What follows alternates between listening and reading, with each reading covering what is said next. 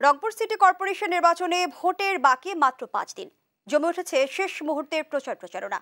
Mayor councillor প্রার্থীরা ছুটে চলেছে ভোটারদের দাঁড়ে দাঁড়ে, দিচ্ছেন উন্নয়নের নানা প্রতিশ্রুতি। এদিকে নির্বাচন কমিশনার রাশিদা সুলতানা বলেছেন, অবাধ, সুষ্ঠু ও শান্তিপূর্ণ নির্বাচনে সব প্রস্তুতি নেওয়া হয়েছে। আবু আসলামের তথ্যচিত্রে desk report. Rangpur city corporation নির্বাচনের বাকি আর মাত্র পাঁচ দিন। তাই জোরে সোরে প্রচারণায় নেমেছেন প্রার্থীরা। সকালে কাচারিবাজার এলাকায় গণসংযোগ করেন জাতীয় পার্টির মনোনীত প্রার্থী মোস্তাফিজার রহমান মোস্তফা। এ সময় তিনি জয়ের ব্যাপারে শতভাগ প্রত্যাশার কথাও জানান।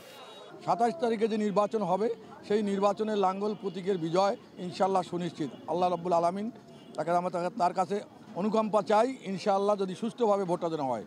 এদিকে আওয়ামী লীগের মনোনীত নৌকা প্রার্থী দলীয় নেতাকর্মীদের সাথে নিয়ে দুপুরে নগরীর শাপলা চত্বর এলাকায় গণসংযোগ করেন।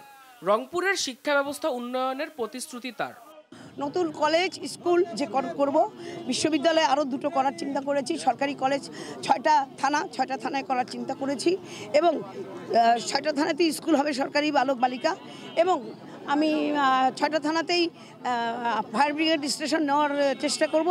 এদিকে সবাইকে সাথে নিয়ে কাজ করতে চান স্বতন্ত্র প্রার্থী। এই তেত্রিশটি ওয়ার্ড এলাকাবাসীর সকলকে সঙ্গে নিয়ে আমার এই পথচলা আমার কোনো দল নেই এই জনগণই আমার দল। এই তাদেরকে নিয়ে আমি কাজ করতে চাই। নির্বাচনে ইভিএম সহ সব ধরনের প্রস্তুতি নেওয়া হয়েছে বলে জানান নির্বাচন কমিশনার রাশেদা সুলতানা। ইভিএমে কারচুপির কোনো সুযোগ নাই এটা আমরা বহু বহু গবেষণা করে বহু রকম মানে পরীক্ষা নিরীক্ষা করে দেখছি ইভিএমে কারচুপির কোনো সুযোগ নাই নাই নাই। এটুকু আমি আপনাদের বলতে পারি। আগামী সাতাশ ডিসেম্বর রংপুর সিটি নির্বাচন চার লক্ষ ছাব্বিশ হাজার চারশো সত্তর জন ভোটার অংশ নেবেন। News desk Desh TV.